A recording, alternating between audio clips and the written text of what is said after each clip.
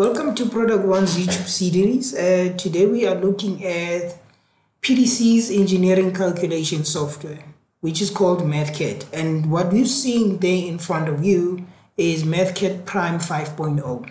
Okay, so what MathCAD uh, allows people to do is to validate and share and verify their engineering calculations.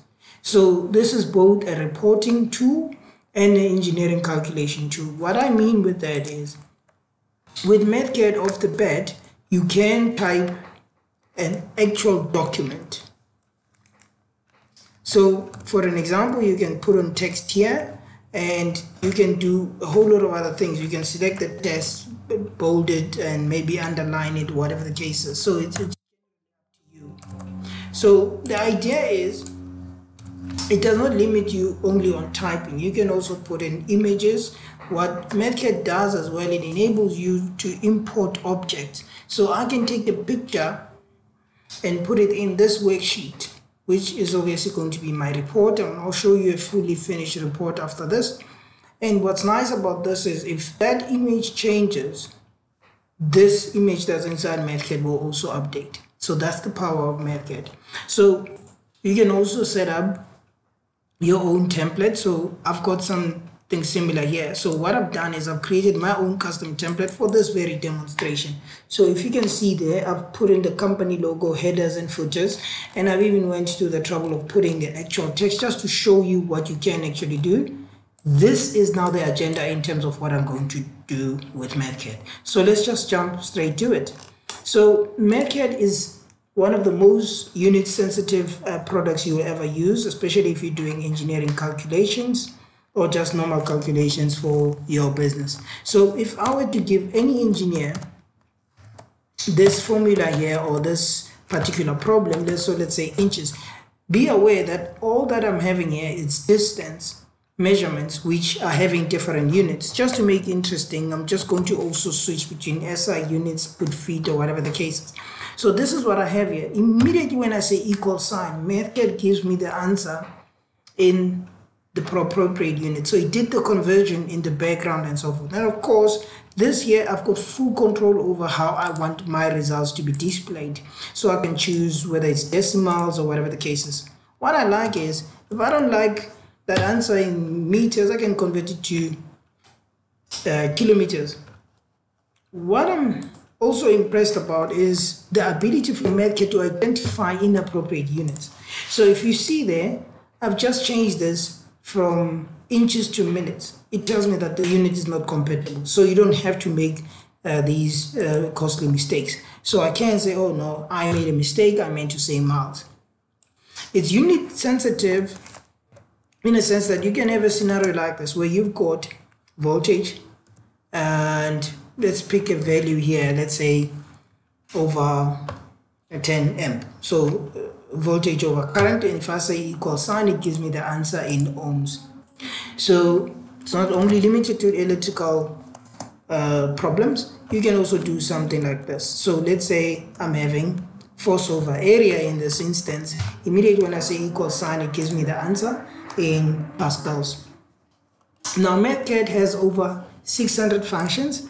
So I'm not gonna go through all of them, but the beauty is they span through various verticals, be it you're trying to do curve regression or some financial stuff, uh, data analysis, statistics, you name it, bootstrapping, all of those are inside MathCAD.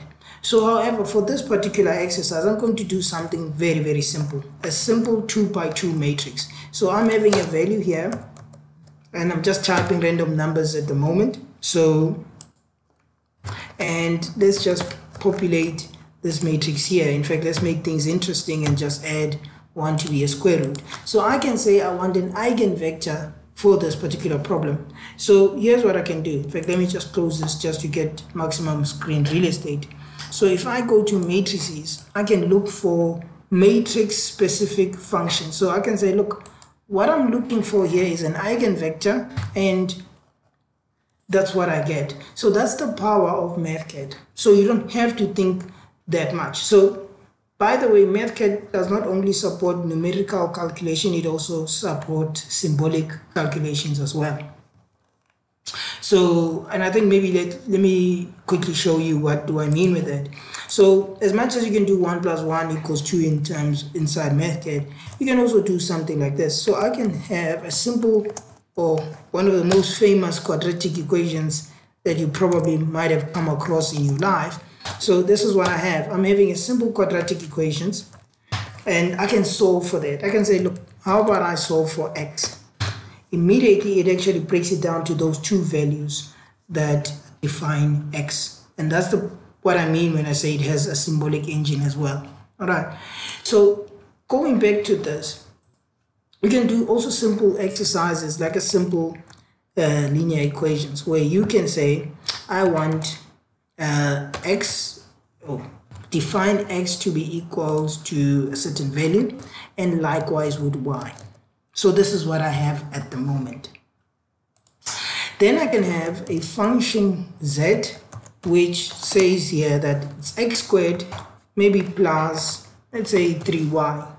Immediately when I say equal sign it gives me the value there. However, should I go back and make any modifications to those inputs my answer changes. It's a live document. So quickly, so let's do uh, simultaneous equations. I'm going to utilize something called the solve block. And what I like is that if you hover over certain operations, you get shortcuts. So for an example, for a solve block, if you hover over that, it tells you that uh, inside the parentheses is control 7, you get a, a, a quick access to solve block. So which is what I have. And this goes across a couple of other things. So for an example, even with constants, if I were to put here, it tells me that, oh, this is what I have, and including pi was the shortcut thereof. So that means that for pi, it's p, letter, uh, for Greek letter is control G. That's what I get pi. Okay, so let's get back to our problem at hand. So what a solve block gives me access to do, so I just want to move it here so that it gets it's an area where you can put your guess values and of course your constraints and whatever you're solving. So I'm going to do this a bit later as well again. So let's say I'm having a scenario where I don't know what is the value for x. So let's say I'm having 2y. That's the first sort of like uh, expression for x and y. And then let's say I'm having, let's say 27. And all of that, I'm doing what to call an expression implicit uh, uh, equal sign. So I can say here I need is a x plus y maybe or whatever the case is. So if I come here and say find x and y, it gives me the values for those two entities. So you see the significance of this, which is uh, coming up. So you can also do integrals as well.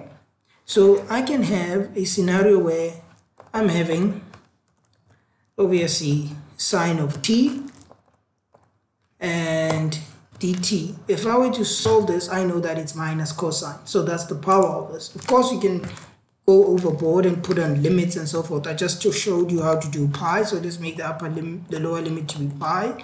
And let's put in maybe minus 3 here or whatever the case is. And sine of t this time around let's say make it t squared and if I do evaluate this I get the answer if I were to change anything on that particular formula the answer will also update like you've seen there in terms of 2D graphs the system supports an array of plots so you can do 2D graphs, a polar plot, a contour plot, and even 3D plot. You'll see this in a second. So if I were to do a simple XY plot, and I'm having a plot like this. I'm not going to spend too much time modifying because we can change the color and all of that stuff and so forth. But what I want to do is, in this particular graph, should I change any value here, the feedback changes. So let's do something far more interesting as well. So let's say you're in school, you're having a particular problem where you've got two functions of x. So let's say function 1 for x is equals to 2x plus 5. So that's the first function second function of x, let's say is equals to 3x minus 2 maybe. So these are two functions of x. So let's plot these. So if I were to plot those two functions, so let's take a simple xy plot, like you've seen here, I'm going to say what is function of x, the first one, and of course the second one. So I'm plotting these two on the same graph. The reason for this is that I want to see where they intersect. Of course, you can manipulate the display of your graph, you can make it bigger, and you can do something as fun as this. So if I wanted to know where those two entities intersect, I can say, look, according to where I'm standing, eh, on the x-axis, there it's positive, and also going to the y-axis is also positive. So what do I need to do? Remember that solve block that I showed you? You can leverage that. So remember, this is the field where you put in what you call guess value. So I'm just going to guess and say, maybe make this uh, x equals to 1 and y equals to 1. However, in here, it's going to be the exact same expression. The only thing that I'm going to do is substitute them with y. So I'm going to say, look, y is equals to 2x plus 5 then the next one will be y is also equals to 3x minus 2. Just need to make sure those are correct. That's it. So if I were to come back now here, I can say find x and y.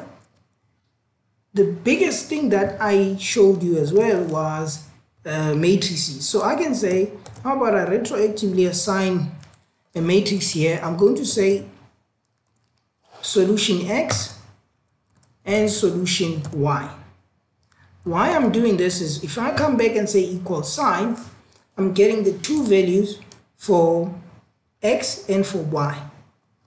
So now I will copy this graph over here because uh, Mathcad works in a logical sense from top to bottom. So meaning that you can't define a function at the top and have an answer on top of that.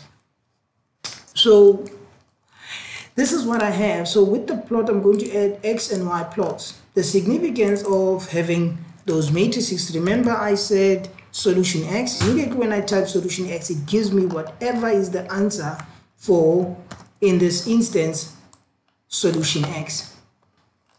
Okay, so the same will apply when I were to change this to solution y. And that's the power of MathCAD. Okay, now if we were to finalize this particular demonstration is you can also do 3D plots as well. So the process is as easy as having a function and you say, show me how the 3D plot will look like. This is of significance uh, if you are having a structure or an aerofoil that's driven by a calculation or an equation. And you can extrapolate this and create a workable a surface that you can take into our design software Creo Parametric. I'm going to be doing this in the upcoming demos as well. Look out for that one. So last but not least, let's talk about the ability of the software to deal with other solutions, be it the uh, Excel or be it design software. So we'll touch on Excel in this particular demonstration. So if I'm having a 3 by 3 matrix like this,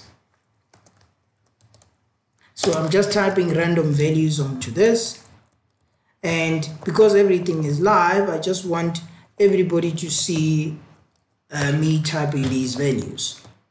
Uh, let's take maybe 21 and just typing random values here. Of course, I can move this around so that it's in the field of view. So now the software enables you to have what you call an Excel component. What this is, is an embedded Excel document inside your worksheet. The significance of this is if you're a person that prefers or has a huge legacy information in Excel, you can say, look, if I want to see this data in Excel, you can do that. This is inside Excel. If I were to select this and open it, there it is. It opens automatically on the other side in my case. So if I were to go to D, let's say D5, I can say I only know how to do summation in Excel. I know this is a, a simple example, but can you picture some of the things that you're familiar with inside Excel? So you can leverage this. I'm going to say, what's the answer? And you can go as far as even highlighting that and so forth. Immediately when I close this, the sheet inside MathCAD updates. That's the power of this. And that value could be something important, could be a value from an experiment or whatever the case is. So this, I can define it as an output. So I can say this answer here, it sits inside MathCAD, but on the cell D5. So if I were to evaluate the letter H, it's this value over here. And of course, you can modify this as you see fit. And this is it for now in terms of MathCAD. Uh, please don't forget to subscribe, like the video, leave comments below. Until next time, goodbye.